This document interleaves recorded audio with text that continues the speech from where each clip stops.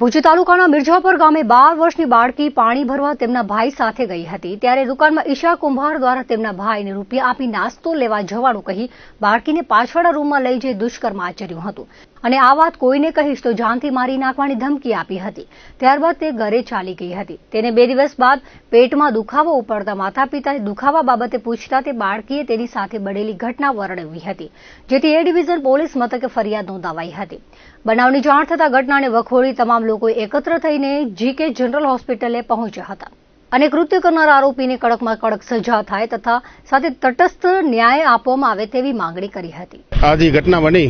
એમાં ન્યાય માટે જી બનતી કોશિશ આ લોકો કરે તો વધારે સારું છે. નકર પછી આ કેસને આવી રીતના કોઈ મતલબ હેન્ડલિંગ જ ન કર્યો કે જે આપણે સારવાર હોય કે ઉપરથી પણ કોઈ જાતની મતલબ કોશિશ કરતા હોય કે આ લોકો તો બધે એક એક સંગઠન થયા છે. શેના માટે? કે આને ન્યાય મળે એના માટે. ભુજ તાલુકાના મિર્જાપર ગામે છપરીવાંડ નામના વિસ્તારમાં એક બનાવ બનેલ છે, જે ત્રીસ તારીખનો બનાવ છે. અમારા નોડે સમાજની એક દીકરી, જેની ઉંમર માત્ર દસ વર્ષ જેટલી જ છે. એની સાથે દુષ્કર્મની ઘટના બનેલી છે. આ ઘટનાને આજે પાંચમો દિવસ છે અને એ દીકરીને કાયદાકીય રીતે ન્યાય અપાવવા માટે જ્યારે એના માવતરો પોલીસ સ્ટેશને લઈને જાય છે સૌપ્રથમ, ત્યારે એ ઘટનાને આખીને નોર્મલ ઘટના તરીકે લઈ લેવામાં આવે છે. એના માવતરોને કોઈ ગાઈડ આપવામાં નથી આવતી.